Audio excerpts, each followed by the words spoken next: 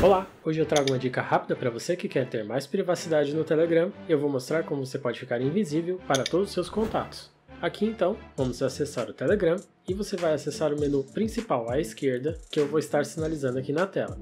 Dentro desse menu, você vai procurar a opção de configurações e depois, na próxima tela, você vai procurar a opção de privacidade e segurança.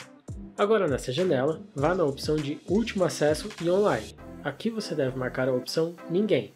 Se você tiver contatos que quer mostrar o seu status e quer ver o status dessas pessoas, você pode adicionar também nessa caixa abaixo aqui os contatos que você quer estabelecer o online. Fora esses contatos que você determinar para aparecer o online, o restante todo vai aparecer como offline. Aí feito essas configurações, é só você utilizar normalmente o aplicativo. Se você quiser ter ainda mais privacidade, na parte dos grupos, você pode deixar o status anônimo nos grupos. Isso se você for administrador ou dono do grupo. Para isso, basta você entrar no grupo e depois clicar no nome do grupo e em seguida clicar no lápis para editar. Aí é só você ir em administradores, então clique no seu perfil e logo abaixo você vai ver a opção de permanecer anônimo.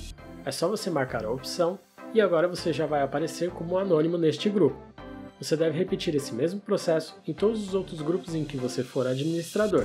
Eu espero ter ajudado você com essa dica bem rápida e para continuar recebendo mais dicas como essa, não se esqueça de se inscrever aqui no canal. Valeu e até o próximo vídeo.